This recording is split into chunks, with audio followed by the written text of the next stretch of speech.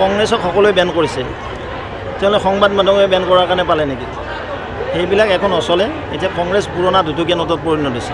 কংগ্ৰেছটো নিমাও মাও মই দেখাই নাই দেখোন অপজিশ্যনৰ ক'তো মিটিং আৰু ইয়াত পলাই গ'ল আপোনালোকক বিদায় দি। আপোনালোকে বিদায় দিলে নে আপোনালোককে বিদায় দিলে তেওঁ মনমোহন সিং ডাঙৰীয়া প্ৰধানমন্ত্ৰী আছিল যদিও চুনীয়া মাতাই চলাই আছিলে দেশখন।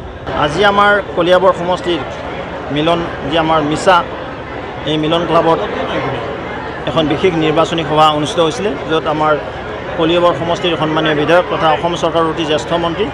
পৰমশ্ৰদ্ধেয় কেশৱ মহন্ত ডাঙৰীয়াৰ গৃহ সমষ্টিত এখন বিশাল আমি নিৰ্বাচনী প্ৰচাৰ সভা অনুষ্ঠিত কৰিছিলোঁ। জনতা যিদৰে ওলাই আহিছে সমগ্ৰ ভাৰতবৰ্ষত যি মধুময় পৰিৱেশ অসমত যি মধুময় পৰিৱেশ কাজিৰঙা কলিয়াবৰতো সেই একেই পৰিৱেশ। বিপুল ভোটত আমাৰ প্ৰাৰ্থী কামাখ্যা প্ৰসাদ তাছা ডাঙৰীয়া। নিৰ্বাচিত হ'ব আৰু আটাইতকৈ সৰ্বাধিক ভোট এই সমষ্টিৰ পৰা পাব বুলি আমি আশা কৰিছোঁ। কংগ্ৰেছে দুটাকৈ সংবাদ মাধ্যমক বেন কৰিছে। কি ক'ব চাওক কংগ্ৰেছক সকলোৱে বেন কৰিছে। তেওঁলোকে সংবাদ মাধ্যমে বেন কৰাৰ কাৰণে পালে নেকি?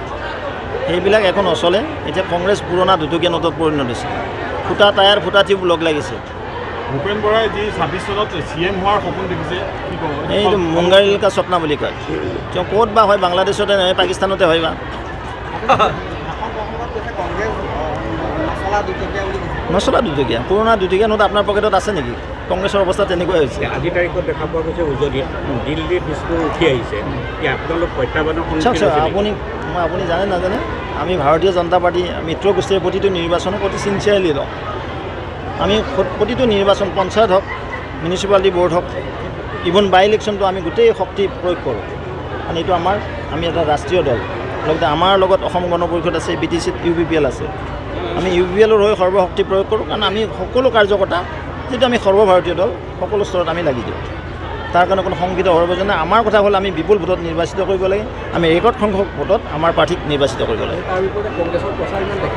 কংগ্ৰেছটো নিমাও মাও মই দেখাই নাই দেখোন অপজিশ্যনৰ ক'তো মিটিং আৰু ইয়াত পলাই গ'ল আপোনালোকক বিদায় দি। আপোনালোকে বিদায় দিলে নে? আপোনালোককে বিদায় দিলে তেওঁ